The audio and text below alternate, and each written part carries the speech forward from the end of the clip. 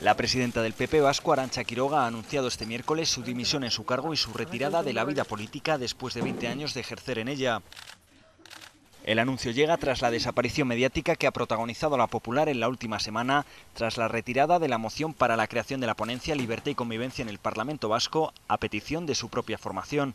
Quiroga presentó el pasado jueves su dimisión a la secretaria general del Partido Popular, María Dolores de Cospedal, quien le pidió que meditara su decisión unos días, recalcando que en ningún momento la formación pretendió desautorizar a la hasta ahora presidenta del PP vasco al solicitar la retirada de la moción.